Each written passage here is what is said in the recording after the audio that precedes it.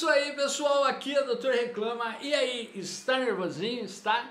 Está prechegudinho? Olha pra tela. Não, não olha. Põe o dedo na tela. Cara de cadela. Bom, galera, no vídeo de hoje vou fazer um vídeo meio rápido.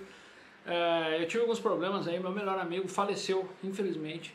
Faleceu a mãe do meu melhor amigo e eu tô dando suporte. O cara é sozinho, né? Aqui no Brasil. A família dele tá ou tá em outro país, é, mas não tá por aqui e eu sou o único cara que me considera um irmão, tô dando uma força.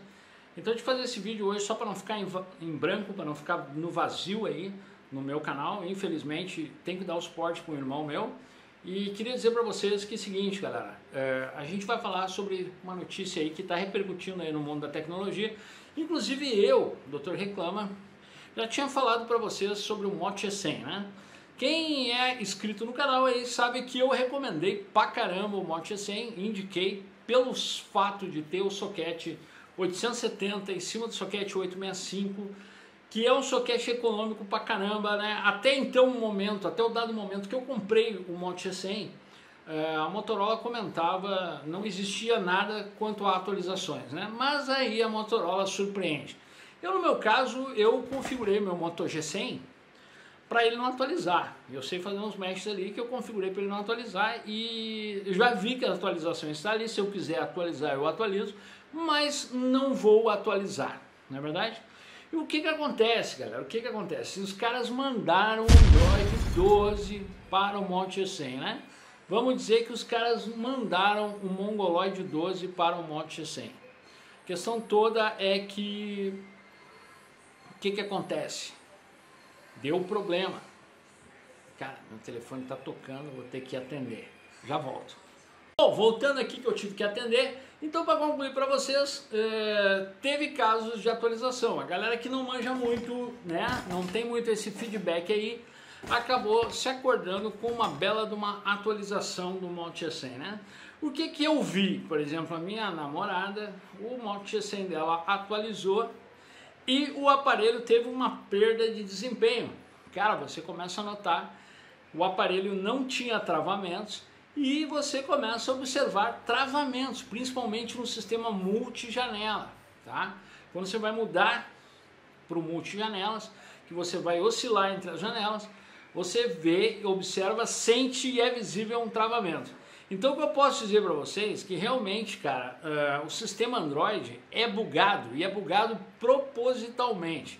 A tal atualização de segurança nada mais é do que uma puta sem vergonhice com o usuário final, não é verdade? Tem outras pessoas relatando aí falhas no áudio, né? Problemas uh, no sistema de telefonia, até áudio sem áudio, e falhas no áudio também no WhatsApp. O que eu posso dizer que eu já observei no celular da minha namorada, porque o meu não atualizou e eu não deixei atualizar.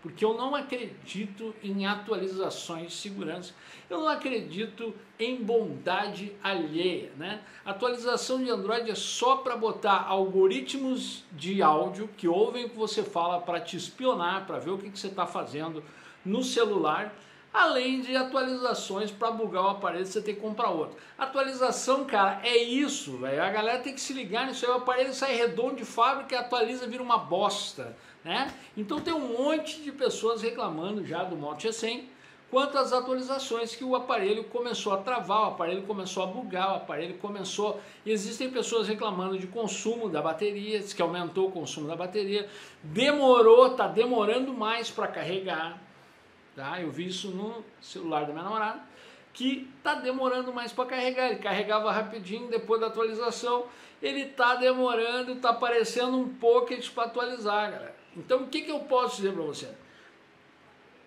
O sistema Android, a culpa não é da Motorola só, a culpa é dos desenvolvedores do sistema Android que lançam as atualizações bugadas para ferrar os aparelhos, sem sombra de dúvida. Né? Então o que eu digo que eu já vi acontecendo no celular da minha namorada. Depois que atualizou, se acordou com o Android atualizado para 12. Demora, demora para carregar. Travamento no sistema multijanelas. Travamento Instagram, Facebook e alguns programas chega a travar, você tem que abrir e fechar de novo. Em alguns programas está travando completo, completinho. E depois áudio, né? Problemas no áudio no sistema de telefonia, problemas de áudio no WhatsApp também existem relatos. O que, que você pode fazer para melhorar o seu Moto G100? Infelizmente, se você já atualizou, né? Aconselho a você tentar dar um restore de fábrica e ir instalando aplicativo por aplicativo.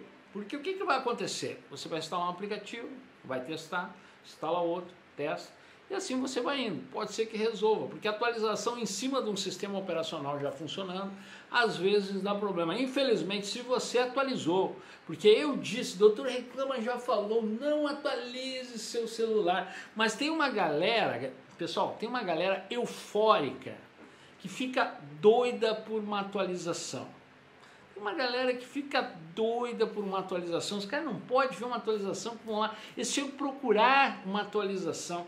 Eu já vi cara, já vi caboclo que procura uma atualização para atualizar no aparelho. Os caras não mal pegou o aparelho, ele já está procurando uma atualização porque ele quer ter problemas. O aparelho está redondo.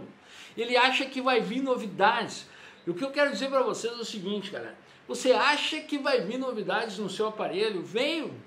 O Android 12, nossa, que inovação! Eu estava olhando no celular da minha namorada, uma bosta virou uma bosta. Ativar o, o sistema de dados do, do, do, chip virou uma bosta, porque antes ele já desatualizava sozinho, desmarcava a opção dados ali. Você entrou no Wi-Fi, desmarcar a opção dados, e aí quando você sai, você tem que estar tá marcando dados ali, tem que ir lá procurar lá na opção chip, dados, porque ele desmarcava sozinho. Agora na opção do Android 12, cara, ficou pior, ficou mais difícil. Dá para fazer? Eu sei fazer, mas agora já descobri, mas ficou diferente, ficou, tem umas janelas quadradas lá em cima, parece um Windows Phone, cara, ficou estranho, eu não gostei, é só uma questão de opinião, não sei vocês, mas eu não gostei do Android 12, ficou travado, ficou pesado, ficou bugado, o que, que você vai fazer?